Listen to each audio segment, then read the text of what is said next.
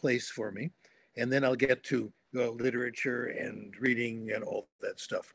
So let me talk about the new stuff first. And I'm going to call this path theory, the theory of paths. And we're all on a different path. And that's good for the human race. Let me tell you about it. I discovered this with a quote from Mark Twain, who said, The two most important days of your life, the day you're born and the day you discover why. And the day you discover why for me means the day you discover what you're supposed to do in your life. Uh, Rumi, the Persian philosopher, said it very well. He said, Someone, everyone has been made for some particular work, and the desire for that work has been put in every heart, and it's different for all of us. It took me a long, long time to figure out what I was supposed to be doing. I didn't find out till I was in my 20s, 23, 24. And after that, life made much more sense. Kurt Vonnegut said something very similar. Each person has something that he can do easily and can't imagine why everybody else is having so much trouble doing it. I found this, by the way, I'm repeating for you a talk I gave yesterday to my granddaughter. We had a long telephone conversation. She's 16 years old, 16 years old, and worried about what courses to take, what to do. And this is what I told her, exactly what I'm telling you. And she said it made a lot of sense. Um, I, I, got this idea, uh, part of it when I was a graduate, so when I was a beginning professor at UCLA. And one of my best friends in college was a guy named Larry Hyman, whose specialty was phonology, sound systems. My first job in, in California, he came with me and he was the new chairman of the department, which is wonderful when your best friend is the chairman. He did phonology, I did language acquisition. He would look at my work and say, Steve, how did you figure all that out? I can't imagine. When I looked at his work, which was in sound systems, phonological theory, I had the same reaction. I said, Larry, how did you find that out? We all have different talents and we all apply them in different ways. Once we are on our path, then we can start learning things. We can only learn when we're on our path. And the learning on our path is pleasant and efficient. It feels right. You, you, like it. It feels that you're doing what you're supposed to be doing. The feminist writer Gloria Steinem said it very well. She said, Writing is the only thing, when I do it, I don't feel I should be doing something else. Same thing with me when I'm doing work in language acquisition and reading and literacy. I feel that's what I should be doing. And you're good at it when you're on your path. It seems easy and natural to, to you.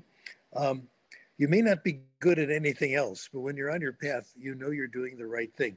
Uh, R.L. Stine said this the author of children's horror books. I've read quite a few of them, they're very good. He said, All I can do is write these little books. I'm not good at anything else. Just ask my wife, she'll tell you. Uh, Beethoven said the same thing. Dave Beethoven said, All Beethoven can do is write music, and that's all. And it's a good thing. The philosopher Csikszentmihalyi pointed this out. The human race needs a diversity of talents and skills to survive. If we were all more or less alike, we would be narrowly specialized and it would be hard for us to adapt to changing conditions. So the human race needs all of us. When you're on your path and you're doing your stuff on your path, it's not work, it's pleasure. You can't get enough of it. Ralph Nader, the uh, environmental uh, uh, the conscience of the world with environment.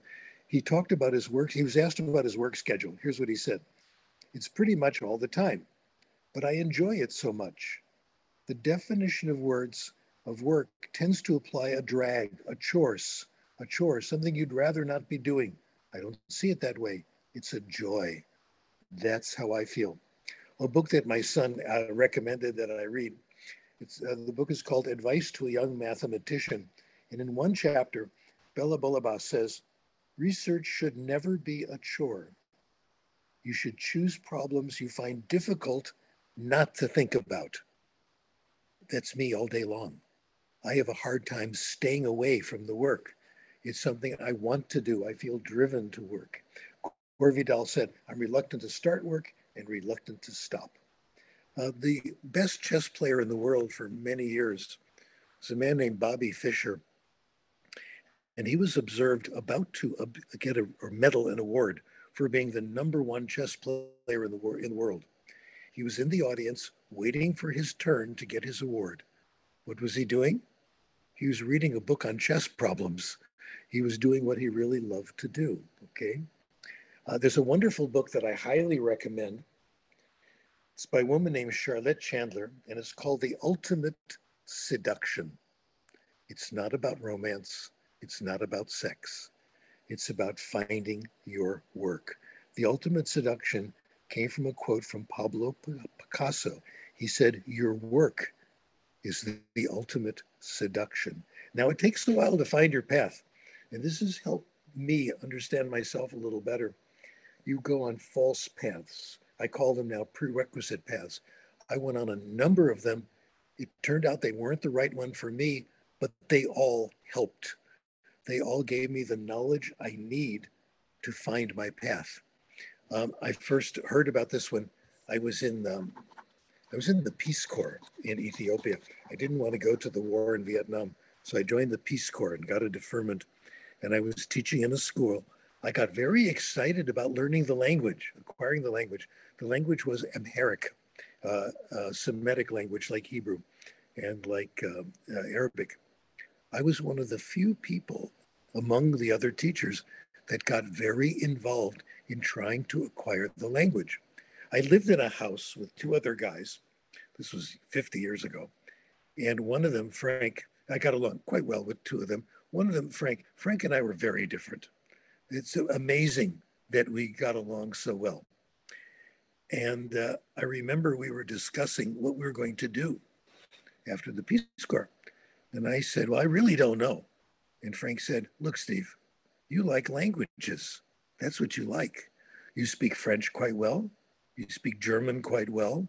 And now you're one of the few volunteers, one of the few teachers who speaks Amharic. Your field is language. He told me that, he observed it.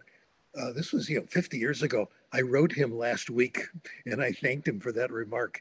Uh, we weren't buddies, we weren't pals, but he really helped me understand what I wanted. I'll tell you how I found the path, the last moment. Uh, I had finished one year of college and I didn't know what to do. And my mom, very wise woman, said, Young man, I want you to go to Europe. You can go on a bicycle tour of Europe with other young people maybe you'll find what you want. I did it. It was a lot of fun. We bicycled down the Rhine Valley. And the last week of the trip, we were at a party at a youth hostel in Switzerland. And I spent the time at the youth hostel at the party watching another young man. He was speaking French to one group, German to another group, and speaking pretty good English to us. And then it hit me. I want to do that. I want to be able to do that. I want languages. The Peace Corps, I'm sorry, the uh, youth hostel bicycle trip was over. So the next day I was on a train to Paris, enrolling in a language school, getting better in French. I did a year in Vienna, uh, studying piano, music, but I realized later piano was okay. I got better at it. It was all right. But I had more fun getting good in German. That's what I really liked. So I found my path, and my life since then has been very uncomplicated. School should be a place where you find your path, and that happened to me. Graduate school, my teachers helped me, invited me into their work, uh, helped me do it, and I found other uh, students who I also worked with, and they helped me along the path. You can only solve problems when you're on your path. This will make more sense when I give my major talk tonight, and I should get into that while there's still time. Uh, I'm going to talk about language acquisition, and and is still now, even today, I'm spending all my time on my paths, and I'm going to begin with that with one anecdote that will give you an idea of what my work has been like.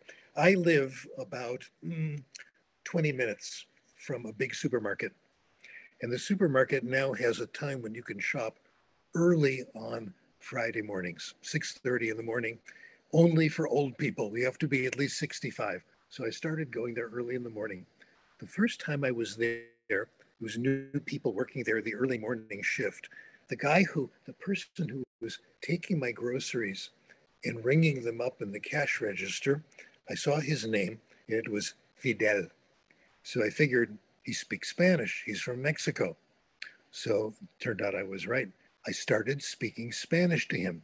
He answered me in English. Oh no.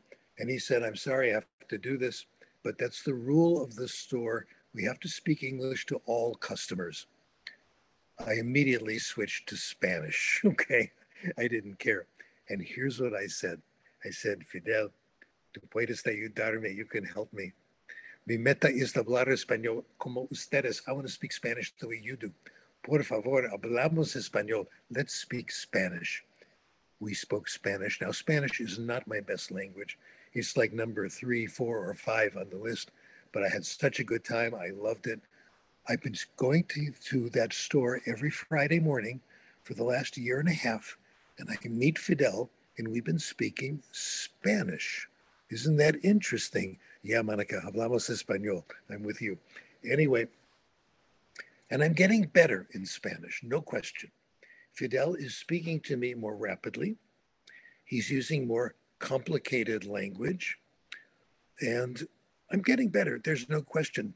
Uh, we're not just doing hablar, we're what we're doing charlar. We're gossiping a little bit. We talk about other people. We're having a good time. Who was it who said, um, the best thing to do if you want to really learn a language is learn how to talk about people. And it's the most interesting gossip. I'm getting better. I've run into friends that I don't see very often. I've spoken Spanish with them. They say, Steve, your Spanish is so much better. Why? What are you doing? I'll tell you the secret. The secret is not talking to Fidel. I only am with him for like five minutes once a week. And most of the time he's talking I'm talking, he's talking. So I don't get a lot of input.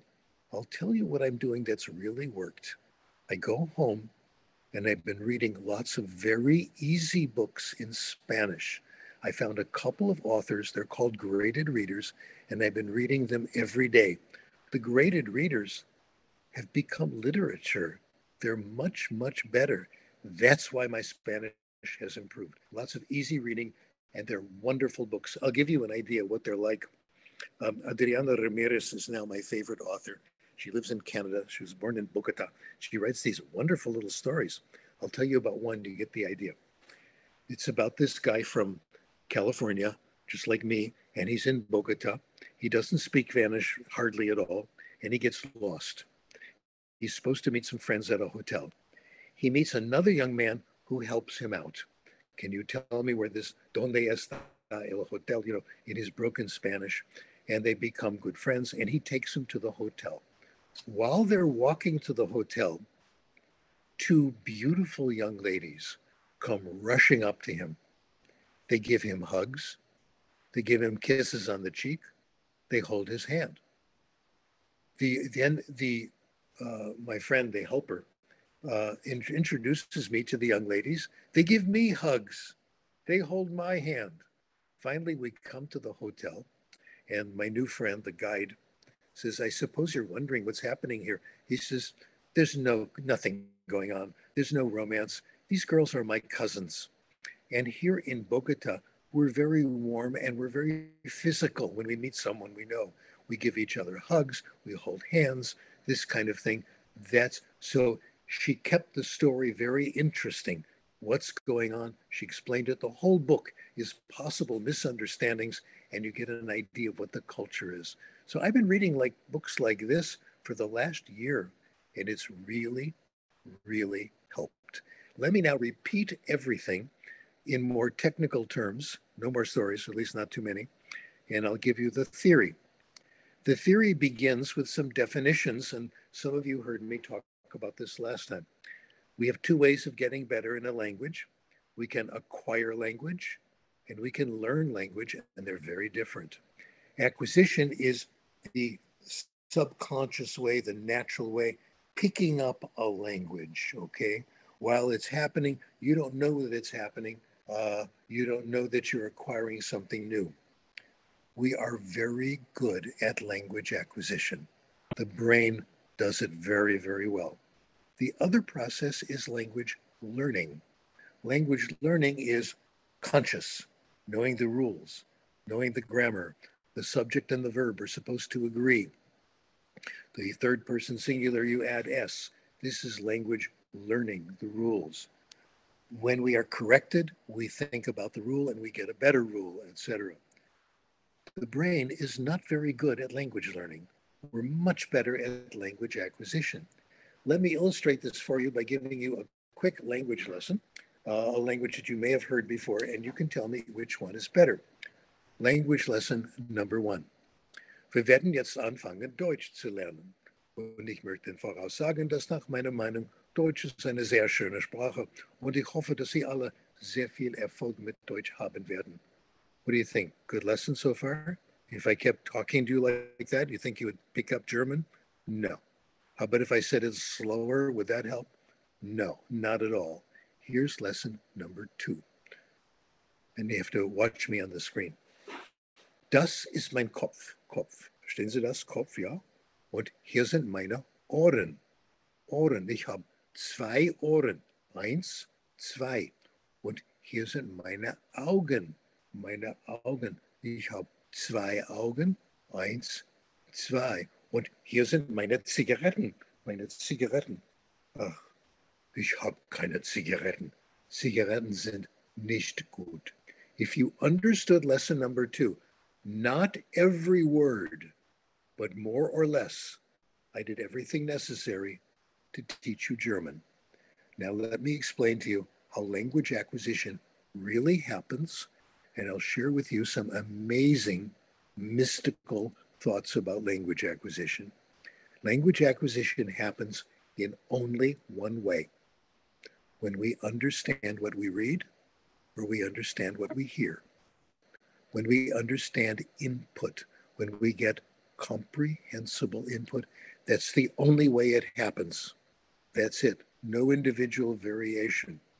Amazing facts about language acquisition. Amazing fact number one effortless, no work. You, when you heard me do the German lesson, you got a little bit of German and you acquired a little bit. No work, no effort. It's natural and it's easy. Number two, even more amazing language acquisition is involuntary. Like it or not, if you understood a little of the second lesson, you acquired a little bit of German, no matter you liked it or not. That's how it happens. Uh, the Chomsky says my hero, Noam Chomsky, he says that language acquisition, the language acquisition device is a mental organ. It works automatically. For example, if you have good eyes and your eyes are open and there's light, you see things. You can't turn off your visual system. You can't turn off your auditory system. If you're listening, you will hear the noise or the language around you. Same thing. Hear the same thing if you get comprehensible input you will acquire. That's the way we are made. A corollary of this talking is not practicing. If you want to get better in another language, you get it by listening, not by talking. I remember when I was a beginning language teacher, I gave practice lessons and the supervisor watched me and I told a story. I still think that was a good idea. And the supervisor said, Oh, no, no, you shouldn't be talking. The students should be talking. Wrong. I now know that I was doing the right thing. The ability to speak is the result of language acquisition, not the cause. In fact, if you try to talk too early, you're not really ready. It's very uncomfortable. I'll tell you how I discovered this. This was, oh gosh, about 50 years ago when my daughter was a little girl. She was like six, seven years old. And she would go visit a neighboring family who had a little girl her age. So my task that day was to go to her house, pick up my daughter, and bring both girls to my house because the mom had to go somewhere. Fine. So I got there, and the mom said, Well, I'm glad to see you. I've got to leave. She was going to her Spanish class at the local community college. She said, Oh, wait, before I leave, I've got to go take my medication. She took some water, took the pill, put it in her mouth, drank the water, says, Okay, now I can go. Now, we were quite good friends, neighbors. We knew each other for a long time. I said, What, what was that that you were taking? And uh, she said, Well, I took Valium. Today it would be Prozac, anti anxiety medication. I said, Why are you taking Valium? What's going on? And uh, she said, It's Spanish class. It makes me so nervous. Actually, she didn't say that. She said, Spanish class freaks me out. It makes me very, very nervous. And I said to her, I asked her, I said, What is it about Spanish class that makes you nervous? Having to speak, being called on in class. That's the problem. I went home, I looked at all the research. She was absolutely right. The number one factor in making people nervous in beginning classes is what we call forced speech, having to speak before you've acquired the necessary language. Using consciously learned language is quite difficult and quite painful, and it doesn't help. Okay? So now you know the secret. The secret is getting interesting, comprehensible input. We actually, I like more than interest, interesting. I like the word compelling, really interesting. So interesting you forget that you're listening to another language. Okay? That's the crucial, I've given you the crucial part of the theory. Tell you a little more about it. We think language acquisition is gradual, it doesn't happen all at once. You get new vocabulary on Monday, you're supposed to load them Tuesday, Wednesday, Thursday. No, you get a little bit of time. You, you, the researchers at the University of Illinois did this wonderful work on first language. They concluded that each time you hear a new word or a new grammatical word, a grammatical rule in context, you get a little bit of it. You get maybe 5% of it or less. Gradually, if you hear it more often in context, you gradually pick it up. Well, I want that is the theory. I want to talk about application right away. And I want to tell you another story about where I live and how I got this idea. I told you I live about 30 minutes from uh, Los Angeles, from the city. And for a long time, for many years, I was driving back and forth twice a week. I had good reason. Uh, my grandchildren uh, live in uh, Santa Monica, about half an hour away. So I, am co- still completely addicted to my grandchildren. So I had to go see them. And I went to Venice Beach, Muscle Beach, where I would go pump iron, lift weights, which was just wonderful. Um, it was great because I met the same people there every you know, once or twice a week. We would work out together, do our bench presses and our curls. And you know who would come every so often? Arnold. Arnold would show up, Arnold Schwarzenegger, the world's best bodybuilder, no question. Um, Arnold at the time was in his 20s, and he was already Mr. America twice, okay? Uh, he really knew his stuff. He would come by, he was very friendly. I have to tell you this. Arnold was very friendly. You'd be doing your bench presses, and Arnold would come over and say, Oh, tie it this way, you know? Okay. So after our workout, we would get together and we would tell each other what Arnold told us. So we got a graduate course in weightlifting, which was wonderful. Okay. So I would go back and forth uh, twice a week, two hours in the car. What do you do in the car and you're driving? Well, there are three possibilities. One possibility is listen to the news on the radio. I can't do that. I can't because it's all Donald Trump. It was then, it is now, and I've had enough. I won't do that anymore. I'll read the newspaper or something else.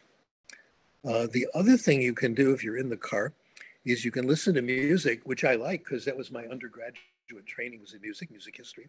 And I like listening to the classic composers. I'm quite a snob. Beethoven, Chopin, the Beatles, the Bee Gees. These are the wonderful composers. But you know what they did? They took all the good music and they transferred it over to certain to certain stations. Okay, you had to pay to listen to the good composers. So I stopped doing that. So here's what I did. On the way into the city, I would stop at the Santa Monica Library. And my daughter was working there, so I get to see her. And uh, I looked at the audiobooks, books on tape, books on CD. I decided I'll listen to good stories in the car. My idea was I would listen to stories in other languages, which would help my language acquisition, Okay. And I would listen to classics. I couldn't do either. I wound up listening to bestsellers because that's all they had. The first one I took out, fortunately, was Harry Potter. Harry Potter novels were so good that I listened to all seven of them. I got to tell you guys, Harry Potter was written for us, for you and me, because it's all about education. J.K. Rowling was very interested in what was going on in the classes. So you got the adventures of Ron, Hermione, Harry, going class to class, how they reacted to the teachers. Um, one of I when I gave a course a little while after that, I gave lectures on on Harry Potter and what it was like because the classes were so interesting. One of my students wrote an essay about one of Harry's friends. If you know Harry Potter, uh, it was Hermione was the girl in the class, and Hermione was the student who always had her hand up, always raised her hand, studied hard, knew the answer to everything. And this student wrote a brilliant essay. Is Hermione smart? Is that what we want out of our students? Okay. So I read lots of Harry Potter. When I was done with Harry Potter, all seven, I started reading other bestsellers. I read science fiction, which is my favorite. I listened to in the car. I listened to detective novels. I listened to legal novels, novels about the legal system, uh, etc. And I learned a great deal, and they were riveting. They were all in English. They were bestsellers. They weren't classic, but they were quite good. And I was very impressed with the quality of popular literature. I learned about it then. And that's the basis of the application. To me, language teaching, a good thing to do is to use literature. That liter- the synonyms for literature, stories, fiction. I'll tell you about the program I used, or I knew, know the best. It was developed by a colleague of mine, Beniko Mason, teaching English as a foreign language in Japan. The first, when students would come in knowing no English beginning, she told them stories. She would study the stories, Grimm's fairy tales, classic stories known to be good, known to be compelling, and she would make sure it was comprehensible, speaking slowly, drawing a lot of pictures to illustrate it, synonyms, occasional translation. That worked. The students liked them, they were compelling and interesting. Get this the entire class was listening to stories. You go to school, imagine this your first class in the morning is story time. That's it. You can listen to these wonderful stories told by a master storyteller. And when the story was done, you didn't do testing on the vocabulary, you didn't write definitions, you listen to another story. So, over one or two semesters, the students heard hundreds of stories that they liked and understood. We did an experiment. We combined once uh, listening to stories and doing actually vocabulary exercises with vocabulary from the stories didn't help. You're better off listening to stories. You get more vocabulary per time spent by listening to stories than by doing the drills, exercises, um, etc. So stories became the cornerstone of our beginning language teaching method. The second uh, second part of it, uh, Dr. Mason calls it guided self selected reading, reading of graded readers. That's where I got the idea. I got the idea of reading graded readers in Spanish uh, from Beniko's work. And oh my goodness, does it work? My Spanish got so good so quickly. And 99% of my Spanish comes from reading those graded readers. Hey, como tu ves, yo puedo hablar español. It's amazing how quickly it came and how much fun it was because the books are so good. And I still do that. Well, what Beniko did in the first class of uh, guided self-selected reading, the first class students would come into the room. There's a big table in the middle, and on the table was a collection of several hundred graded readers in English, the Longman series, the Newbery series. You're familiar with these. And the students would go around the table looking at these books, seeing if they liked them. They knew some English because they had had you know, two semesters already of listening to stories. And with the help of the teacher, they selected the first book they wanted to read. If they didn't like it, they didn't have to finish. They could put it down and try another one. They weren't tested on anything. It was all pleasure reading. They would do this for a year, year and a half, three semesters. We did one experiment on this, and I'll give you the, this is the best part of the talk, I think. Uh, one experiment, we did it with uh, Beniko students. We gave them alternate versions of the TOEIC. The TOEIC, as some of you know, is the most well-known examination in English. We gave them the listening comprehension and reading portions. The TOEIC goes from zero to 100. Uh, I'm sorry, zero to 1,000. If you reach 250, you're ready to start reading. And that's about where these students were after a semester, a little bit more of reading for pleasure. Here's what we found. I find this to be spectacular.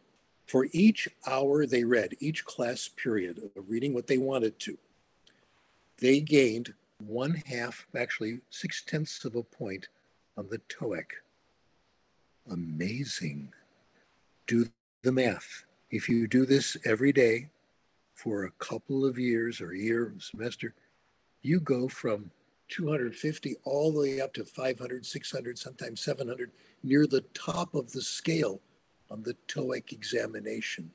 So we have very good data there that this really, really does work. I want to tell you about another story, which is my another uh, study, which is my favorite. By the way, if you want to see all the research on this, it's there for you to see for free. I wrote a book in was it 2004 called The Power of Reading. There's a lot of research in it. There's a lot of fun doing it, and I have put it on the uh, internet. If you go to sdkrashen.com, you can download The Power of Reading lots of other articles for free. I give it away not because I'm a nice guy. I give it away because the books are too expensive. Nobody can afford them. I can't afford to buy the books. Uh, if I want to buy a good, you know, book of research, it's going to cost me 40, 50 dollars, and I need more than one, so I run out of money very, very quickly. So I have done this. Uh, other people, Beniko Mason has done this. Jeff McQuillan has done this. Nooshan Ashtari has done this. We've made our work available on the internet for anybody. And I think the profession has to do this. Otherwise, no progress. Right now, the only people who can get look at the serious literature, the journals and the books, are college professors with privileges in their library. But everybody else can't. So this shouldn't be true. Anyway, I'll tell you about this, uh, my favorite study since The Power of Reading. We call it Sophie's Choice because the hero is a high school student uh, named Sophia. This study was done by Fay Shin, former student of mine, and uh, her colleagues. Uh, Sophia was at a school, excuse me, cheers, we say in Hebrew, l'chaim.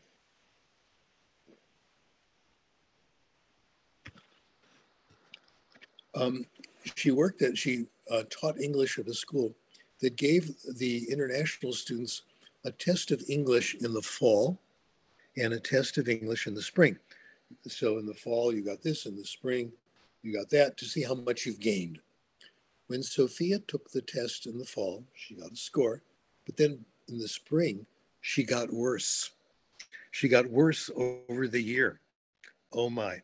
Then she would go home for summer, come back in the fall.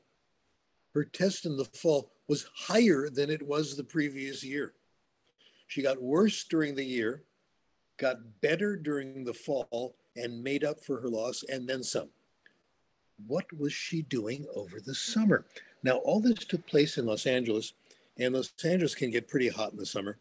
So, what Sophia did, she found a cool spot in the public library. And she found the section that had books for young people. Nancy Drew, Sweet Valley High. A lot of good reading, in my opinion. Very, very good. She read about 50 books over the summer. She would read for, you know, an hour or two every day, not because she wanted to improve her English, but because she was having a good time. It's a nice place to sit and relax and get out of the heat. That was the, that's the kind of evidence we have. Free reading, self-selected reading gives you what you need. Study after study, I'll summarize the research quickly. People who read for pleasure. People who read novels, comic books, magazines do better in everything tested in language. Their vocabulary is better, their spelling is better, uh, their grammar is better, their writing is better, their comprehension is better. I got really annoyed today. I got to share it with you. You have to be my therapy group, okay?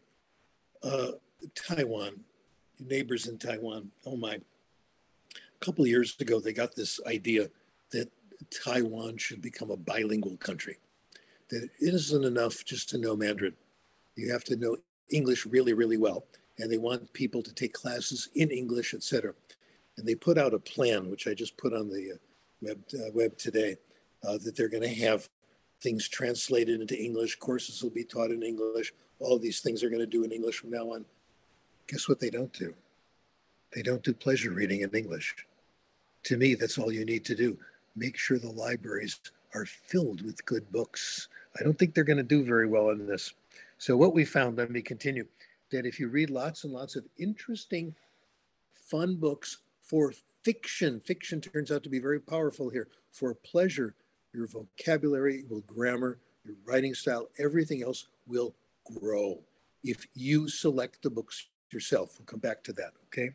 In fact, my favorite research uh, from all of this, uh, Jeff McQuillan's book, uh, found out that you not only get everyday res- uh, reading books, reading uh, reading language, you get academic language. You get the language that you need for school from reading fiction. People are worried you read just fiction as just storybooks. No, you get lots of academic books. Jeff's study, he found if you take a pile of everyday pleasure reading and you look how many words are in the approved lists of academic uh, vocabulary, lots of them. His conclusion in one year, reading 30 minutes a day, you'll acquire 37% of the core academic vocabulary you need for school. Not bad, pleasure reading. Um, another study came out, I found this out from McQuillan, another former student of mine. Uh, he found a study by Rolls and Rodgers who found if you read a million words of science fiction, you will, you will encounter 92% of the 300 science words that appear in science. This explains something to me because uh, I basically read technical stuff. I read the stuff in language acquisition, et cetera, but not much else. Occasionally, I'll read an article on nutrition, not very much, but I read a lot of fiction. Of course, I have no trouble reading technical material at all, okay, because of the science fiction, no matter what field it's in, um, et cetera. Okay, I've given you the big stuff. Now it's going to get bigger I think this was good, wait till you hear the rest. Not only does pleasure reading, things you do for relaxation, give you more language, people who read more know more. They know more about absolutely everything. These are people who read mostly fiction, okay? This gets better and better. If you read lots of fiction, what do you get? You know more about science, you know more about social studies, current events, finance, health, technology, all this stuff. I found this out a few years ago by accident. If you're a voter in California, you have to serve on jury duty every couple of years if they call you up. So I was called and I served on a jury. And because at the time I was a college professor, I was elected the foreman of the jury. Boy, that was a bad decision because I know nothing about law. And I don't think I did a good job. In fact, I know I didn't. Uh, the guy who was on trial was, I think, was guilty, guilty, guilty. We should have found him guilty. Nine out of 10 of us found him guilty.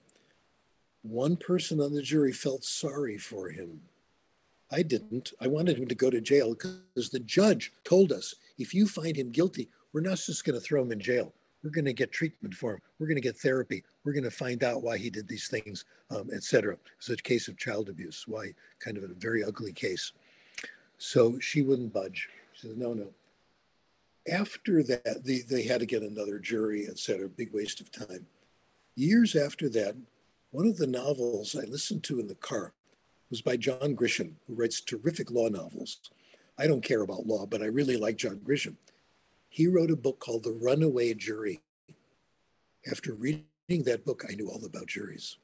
If I had read that book before serving on that jury, justice would have been served.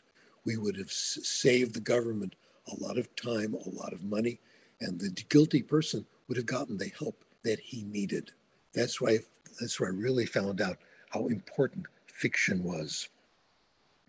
The best, the uh, study was done a couple of years ago by two people, Stanovich and Cunningham. It was with English as a first language, but it, this is a marvelous study. They took young people who were in college, and they their first two years, and gave them a variety of tests of different areas of science, history, etc. They also found out what their interests were. Uh, did you like reading? Did you like reading books, magazines, bestsellers? Uh, did you like other things? Uh, and a whole list of possible things you might want to do. Did you like mechanics, sports, all this thing? The best predictor of knowledge was like it was recognizing authors who they were. People who read more best-selling authors, people who read magazines, people who went to good movies too. They were the ones who knew more about science, history, all the technology, all these things. They knew more than people who got good grades in school. Grades was not a good predictor of how much you knew. The study, reading fiction is better for you than studying hard in school. That's what they found. Okay, so number one, fiction gives you language, it gives you everyday language, and it gives you academic language, and it gives you knowledge. It gives you something else. People who read fiction know more about other people. Chomsky said this. It is quite possible, overwhelmingly probable, we will always learn more about human life and personality from novels than scientific psychology. Uh, uh, American radio personality Terry Gross, she's the hostess of a show named Fresh Air, really said it perfectly. When you're learning to read fiction, when you have a good teacher, what you're learning in part is empathy. You're learning to be somebody else. You're learning to see the world through their eyes. I think that is absolutely it. This has happened to me. When you read fiction, you become the characters in the novel. You see the world through their eyes. I think it's wonderful. I have a couple of more things to go, then we'll do questions. Um, if this is true, two things become very important. Number one, access to books. If you live in poverty, you don't have much access to books, and this is true in every culture. The only solution is the library. We know from research on libraries, one of my favorite researchers is in this area. It's absolutely wonderful.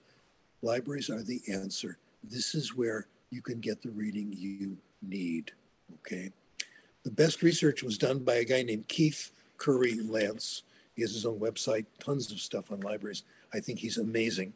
He found that if a student goes to a public school with a good library with lots and lots of books, and there's a certified public librarian to select the books and help students find the right books for them.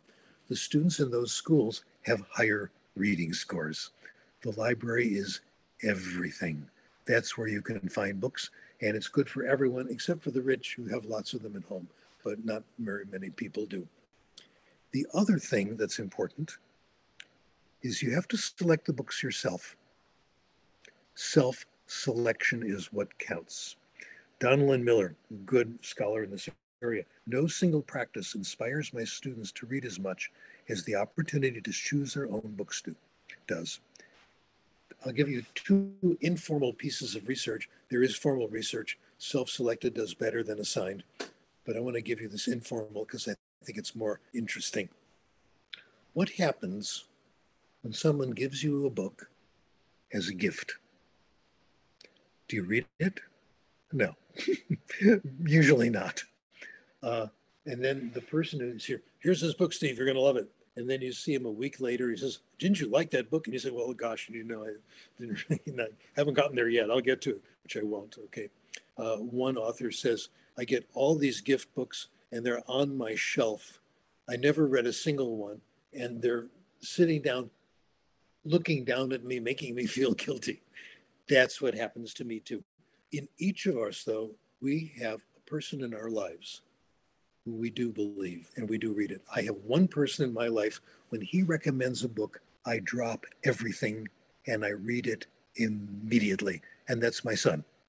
When he says a book, he always gets it right because he knows me better than I know myself.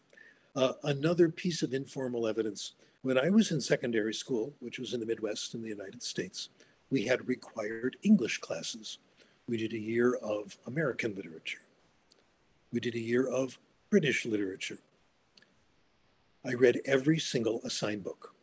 I wrote the assigned essays. I did everything right. I passed the courses. I don't remember a single book I read in any of those literature classes, not one. It's like they never existed.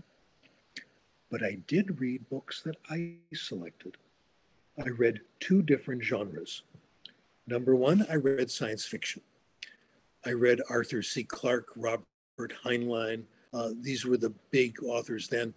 I learned so much from them. It was amazing. They gave me my values, everything. I learned even more. You'd be surprised from baseball stories. I found an author when I was like 12 named John R. Tunis, who wrote seven novels about a baseball team that he made up, the Brooklyn Dodgers. The author's name was John R. Tunis. And if you know a little bit of baseball, you can follow this, all right?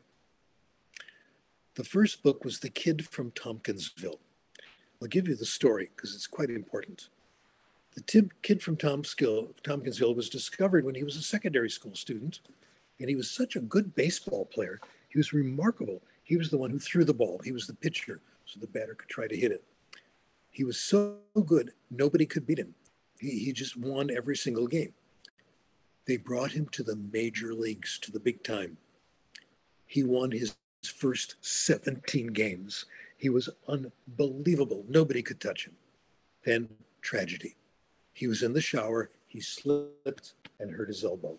He could still throw, but he couldn't do the fancy pitches that you need to win baseball games. Two years later, he joined the Dodgers again as an outfielder. He was a very good hitter and fielder. Three years later, he was the best batter in the league. He was fantastic. In other words, he found solutions.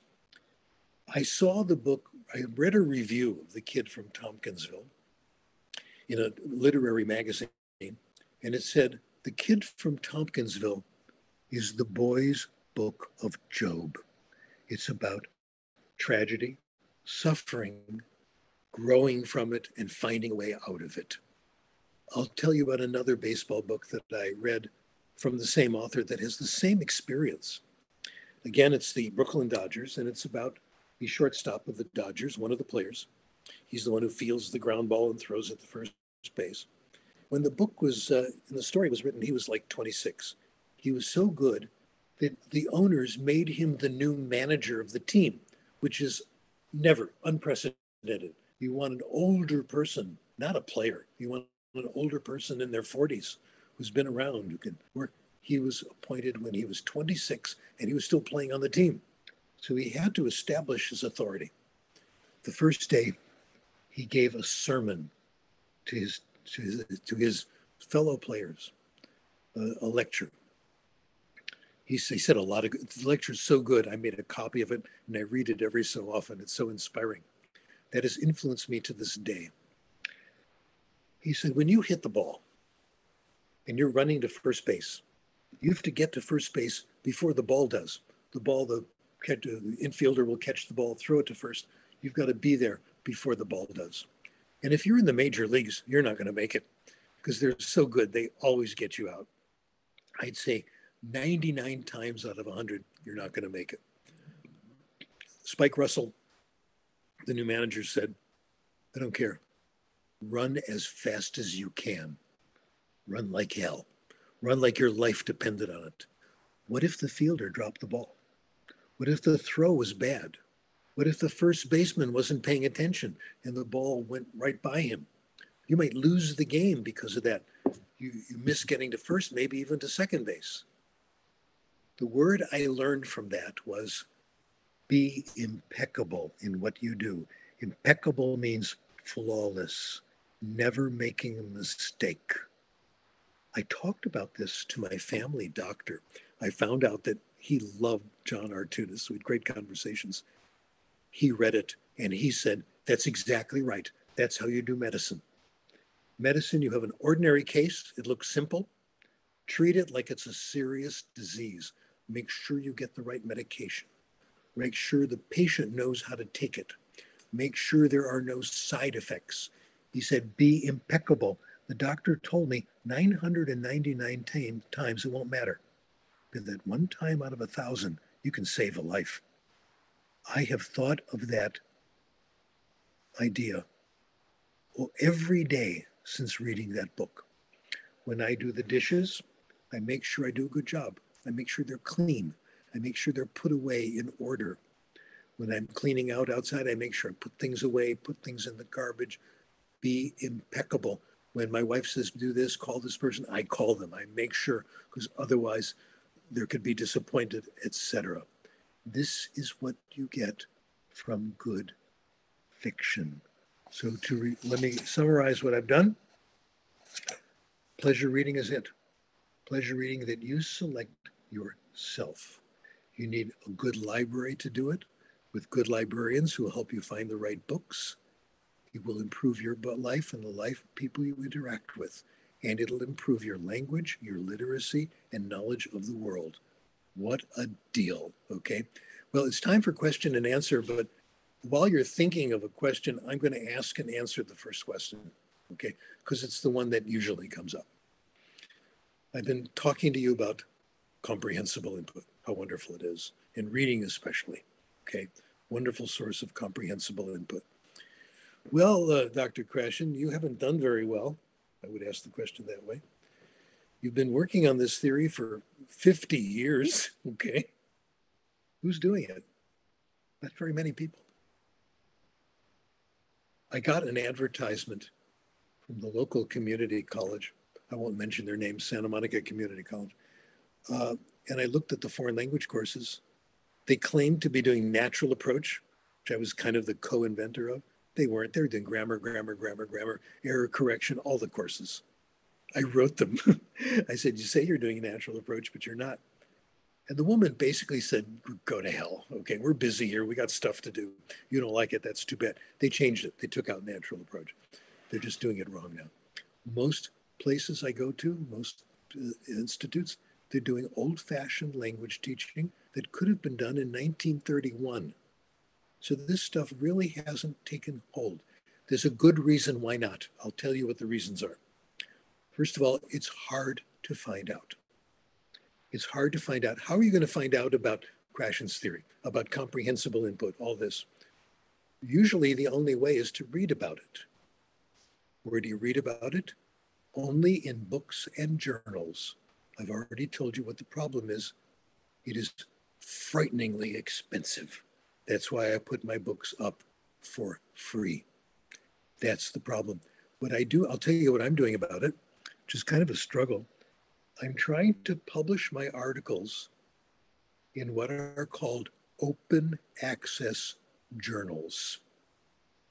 Journals that are free to read, journals that are free to subscribe to, uh, etc.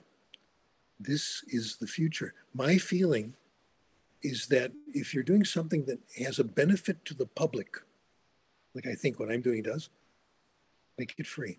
Make sure people read it make sure it's not just for the rich. Okay. So this is one reason people don't know about it. Not only are the books expensive, they're written by crazy people. I can't understand most of the articles. I can't even understand the articles that say I'm right. Okay. Uh, they're written by maniacs. Here's what I've been doing I go to a lecture, and people come out of the lecture and they say, Oh, that was wonderful. And I didn't understand it. So what I often do is I ask someone, "Oh, by the way, what did he talk about? What was that about?" They can't tell you. This became obvious to me years ago. I owe this to a former professor of mine, Peter Ladefoged, when I was a student at UCLA. Peter was an expert in phonetics. And he would take us with him to conferences on phonetics. And We got in for free and listened to him lecture. One lecture he gave, lectures were mostly incomprehensible because I'm not a specialist in phonetics and I really don't care much about phonetics, okay? But I went to one of Peter's lectures and he started out by saying, you know, um, I'm going to, I, I'm told I have 20 minutes, but now we've changed it and we only have 15 minutes. So I'm going to make this short. Peter threw away his notes and gave a clear lecture.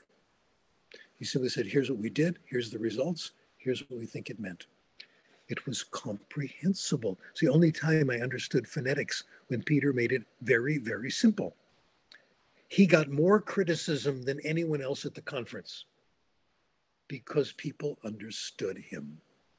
And that's one of the reasons why university lectures and technical lectures are so bad, because they don't want you to understand.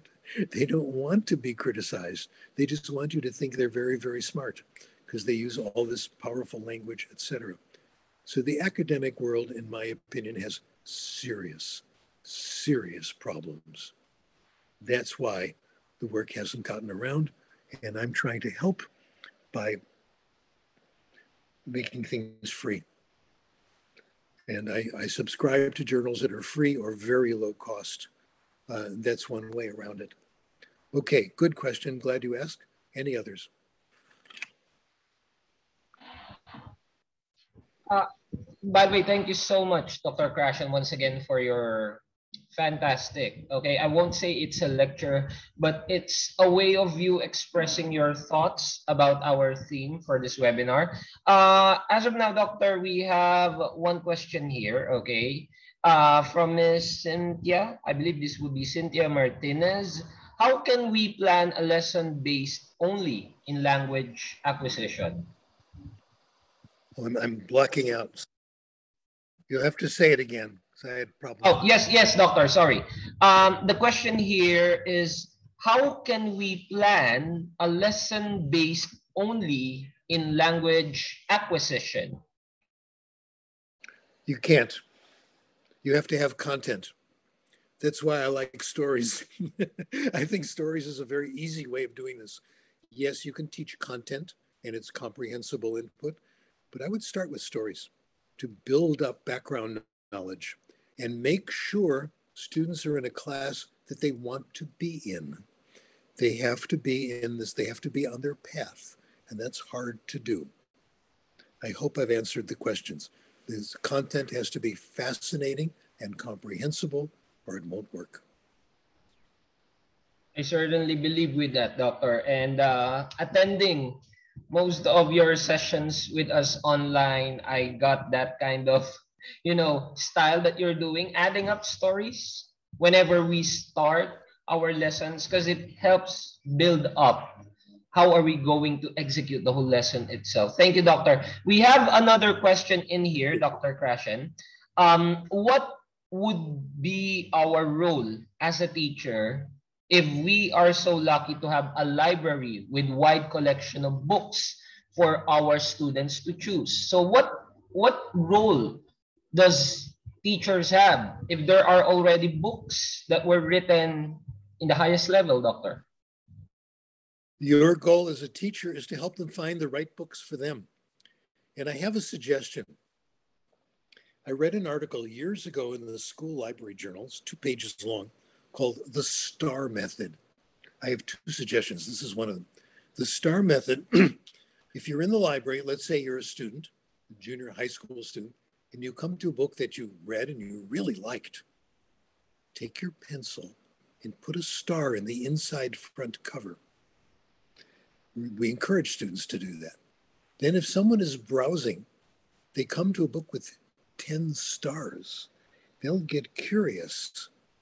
They'll want to read it. The star method cost absolutely nothing. I would like people to try it and for them to tell me if it works for them. Second to that, I read another paper also in the School Library Journal called Spider Man in the Library. They put comic books and graphic novels in the library, but did not allow them to circulate. You had to go to the library and read it there. They then let them in, let it stay that way for a couple of months, and they found that library traffic nearly doubled. People came in to read the comic books. And the amount of comic book material and non comic book material went up dramatically. Books taken out of the library increased dramatically. Uh, I want to stay with comic books for a moment because uh, I, I want to tell you how important I am, all right? I am the world's number one researcher in the impact of comics on literacy. It's because I'm the only one, okay? No one else has done it. We've done some studies of comics and they are really wonderful. It all begins with me. When I was in the third grade, I was in the low reading group. My father brought home comic books. Within two months, I was in the highest group. It was spectacular. Okay. Students have to discover them for themselves. Getting comic books there, the comic books are better than they have ever been, by the way. Uh, thanks to Stan Lee and the Marvel Comic Book Company, where you have superheroes with problems, is absolutely riveting. I still love reading comic books. I still think they're wonderful. Okay, question came up. I'll repeat it.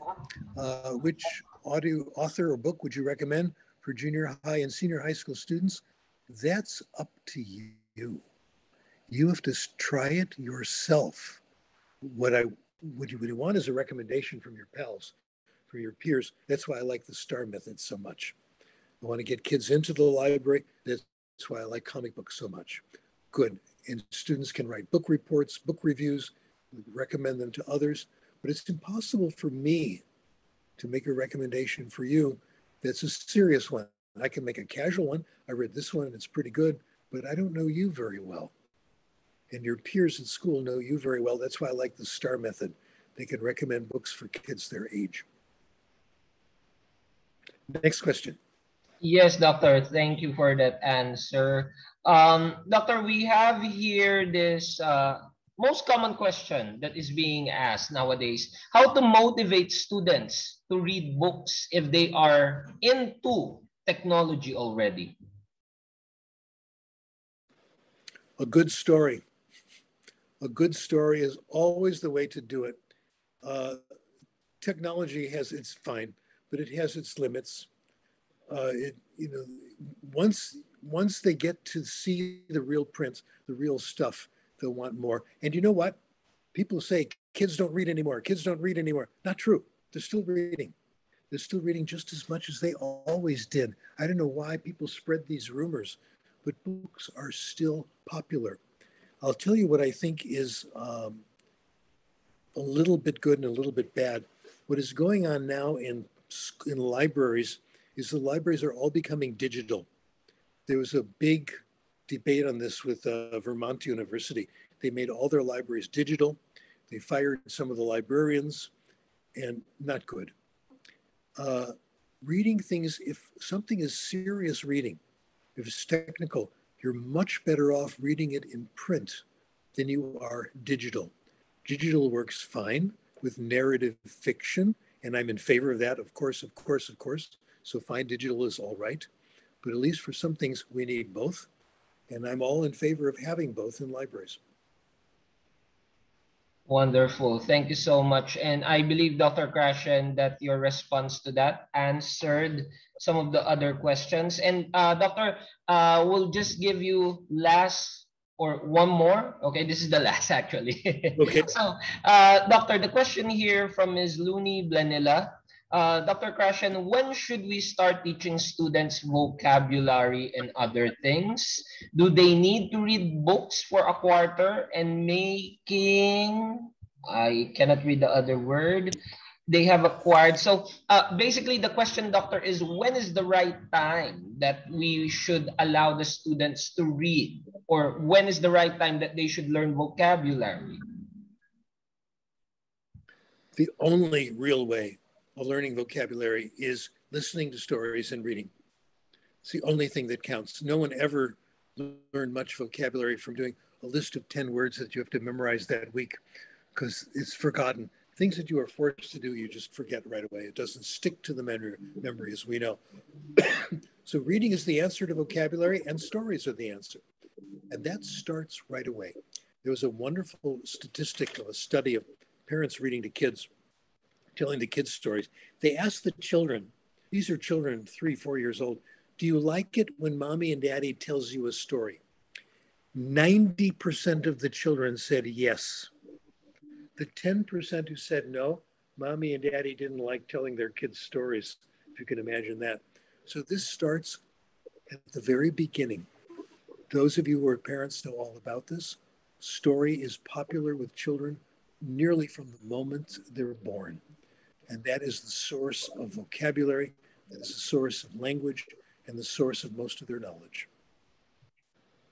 Thank you, Doctor. And one of our heads from LSPU San Pablo City, Dr. Nimfa Dimaculangan, uh, just would like to share with you, Doctor. He said, Good morning, Professor Krashen.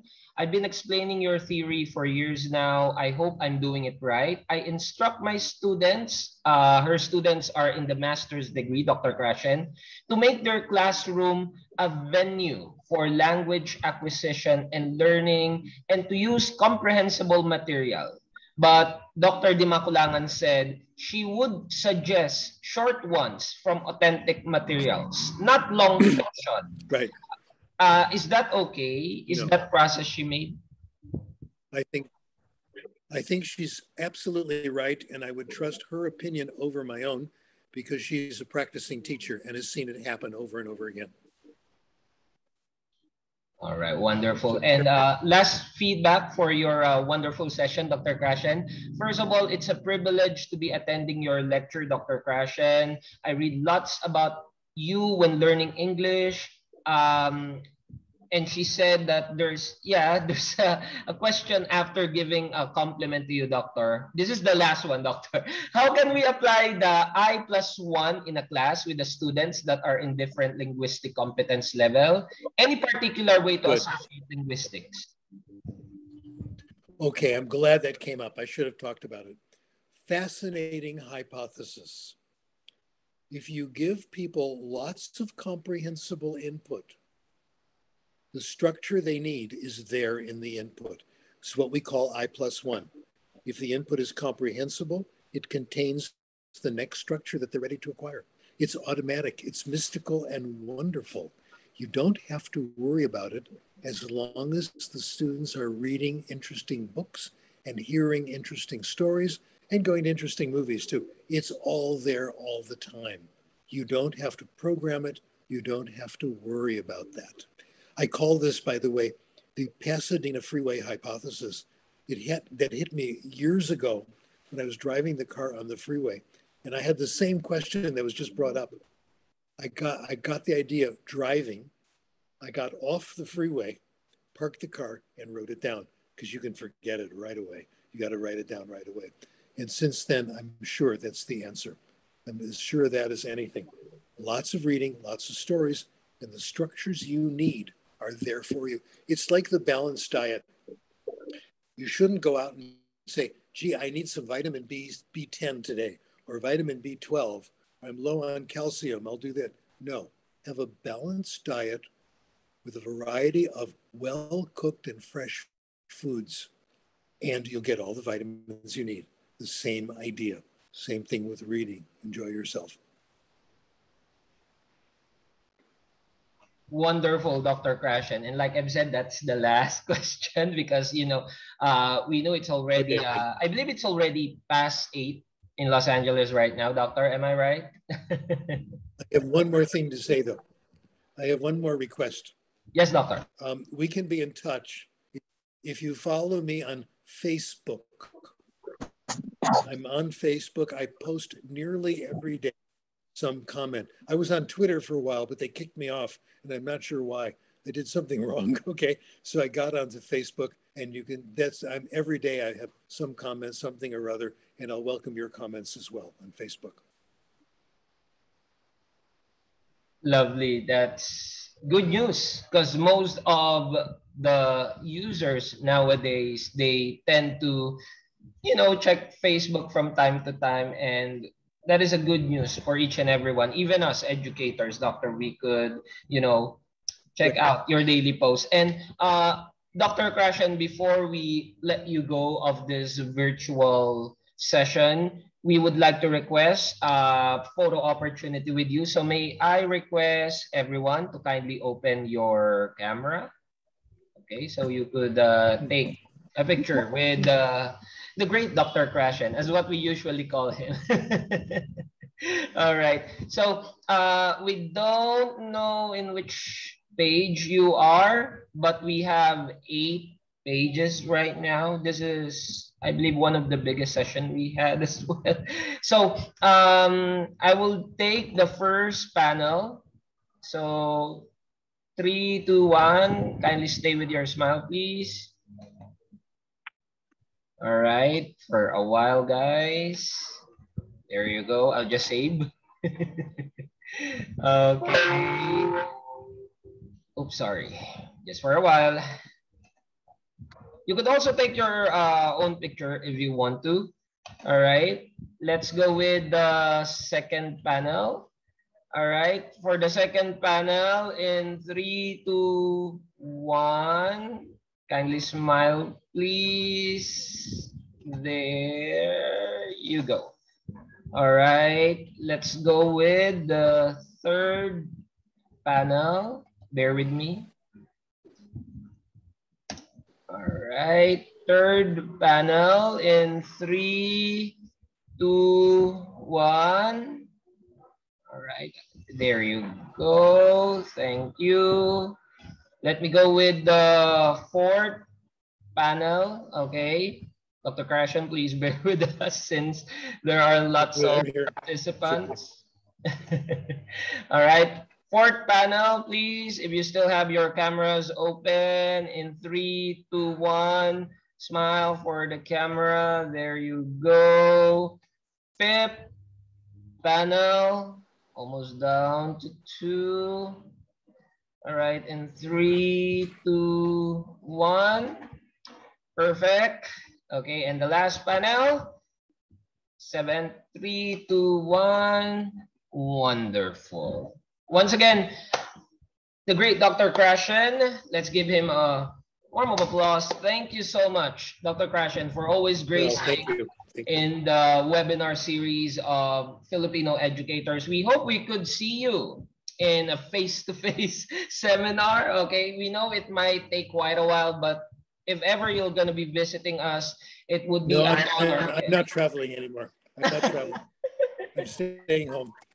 I know, we know, you, Let me make a comment on staying home. Yes, doctor. You might be interested in this. One more comment. When um, oh, uh, the world's greatest physicist, what's his name? The first physicist. Oh, I'm having this happens in old age. Who, who is the first physics genius in the world? Well, this guy stayed home for a year because of the plague.